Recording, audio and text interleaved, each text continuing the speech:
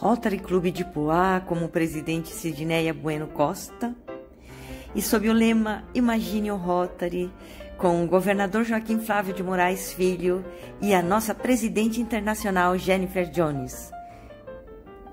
Vamos ver agora fotos e vídeos da visita oficial do governador Joaquim e sua esposa Pérsia no Rotary Clube de Poá.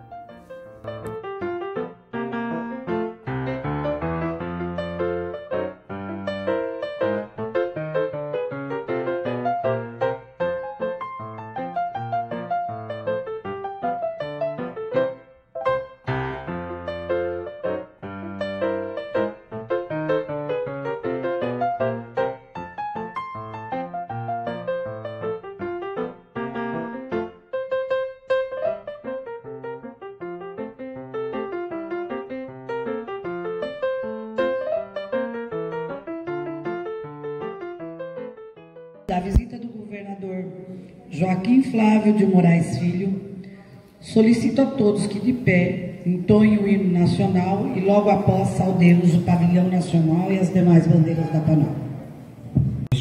Meio suspeito, mas vocês aos poucos vão conhecê-los e vão perceber que essa suspeição passará. E vocês vão ver que eles são um casal muito legal. E o Joaquim, como governador, ele é um cara muito legal. Vocês vão perceber isso no decorrer desse ano 2022-2023. Eu quero passar para vocês, né, o, o, troféu que o Alto da Lapa está oferecendo aqui para o Rotary Clube Poá, em nome de vocês dois, e eu vou falar um pouquinho o significado do troféu. Quando eu cheguei, o João falou assim: Ah, mais ou menos eu sei, né? Mostra um pouco o que é o, o clube de vocês, aonde ele está e como é o bairro de vocês. O nosso não é assim. Eu vou pedir para o João, ele vai projetar ali, ó, vocês estão vendo? Ali é uma imagem, ela não tem uma definição muito boa, mas é a imagem do troféu. Você pode tirar, Siné? E eu vou falar um pouquinho o que significa o troféu e eu vou pedir para vocês, para vocês observarem o lema do ano 22-23. O nosso troféu é mais que um presente. Queremos que seja um símbolo de mudança, de transformação. No logo deste ano, declarado por nossa presidente de Rotary International, Jennifer Jones, e enfatizado por nosso governador Joaquim Flávio, estão destacadas as sete áreas de enfoque. Então aqui vocês veem que tem sete círculos.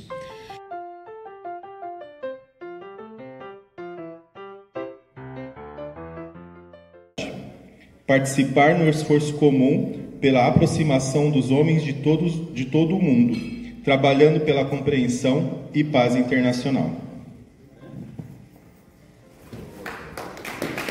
Parabéns.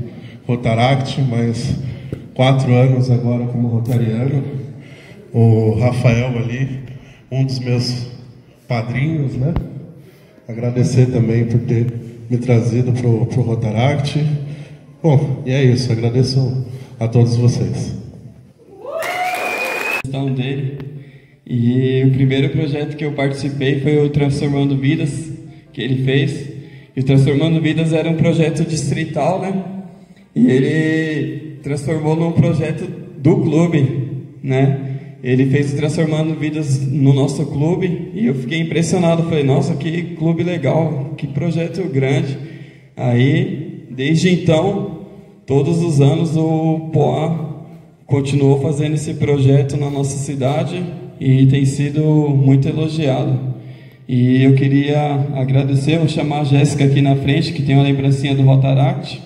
Vem aqui, Alexandre, receber esse, essa lembrancinha do nosso clube. De agradecimento de todo o nosso clube, o Rotaract Poá.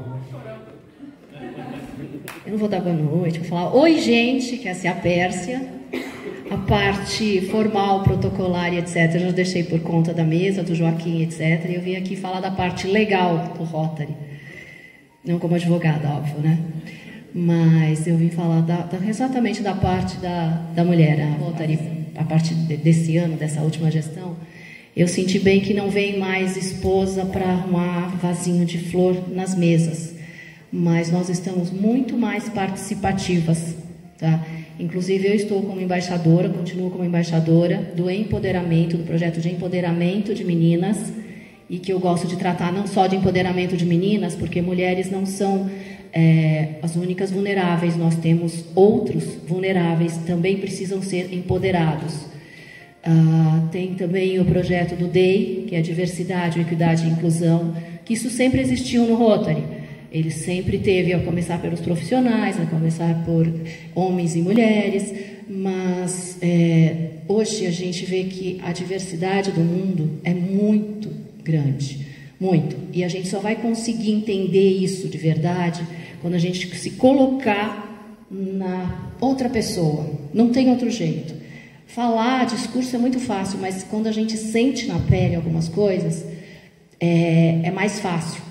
Então, eu conto com vocês no primeiro seminário do DEI, vai ser divulgado 8 de outubro, na São Camilo, tá, em São Paulo, na Pompeia, das 8h30 às 13 horas. Nós vamos ter seis psicólogos eh, com enfoque em etarismo, antirracismo, LGBTQIAP+, é, de, e deficiência.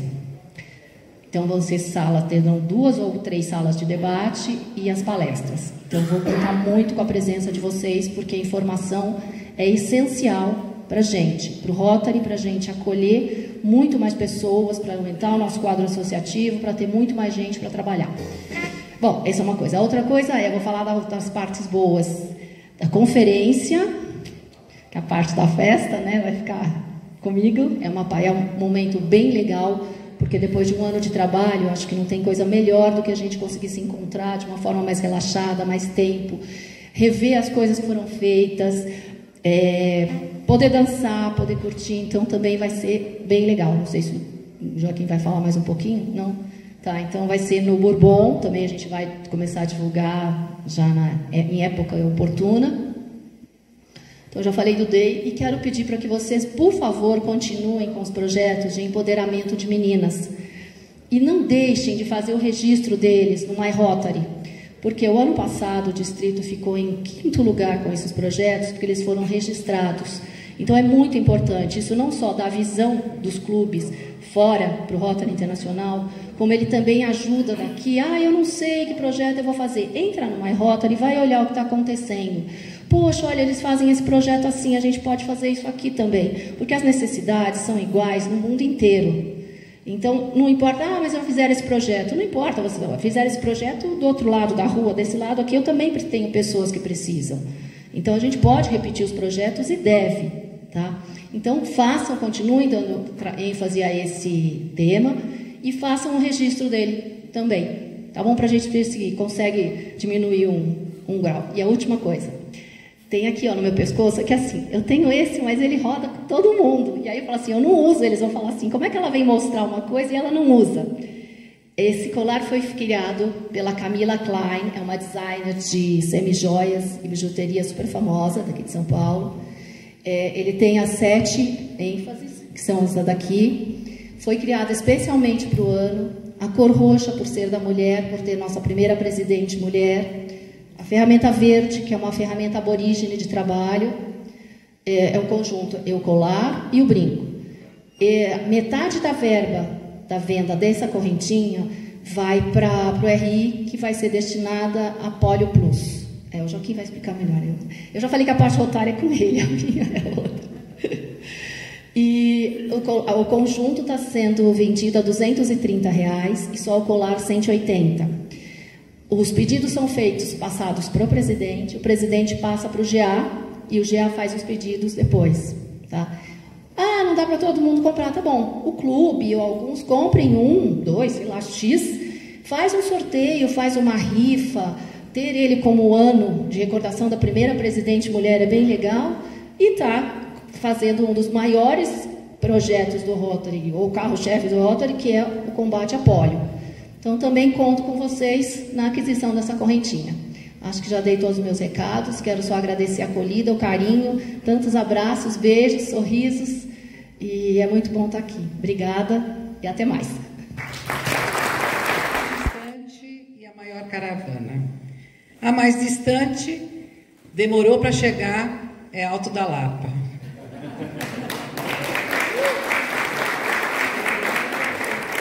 Não é? Demorou. Mas que bom que vocês chegaram bem, que estão aqui. E a maior caravana é a nossa vizinha Suzano.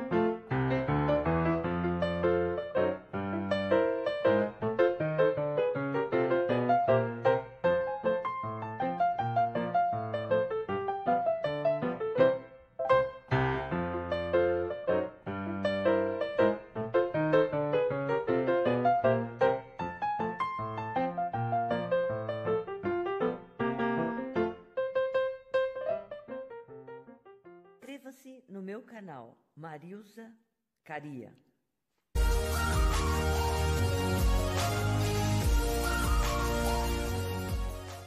Inscreva-se no meu canal. Por que não agora? Marilza Caria.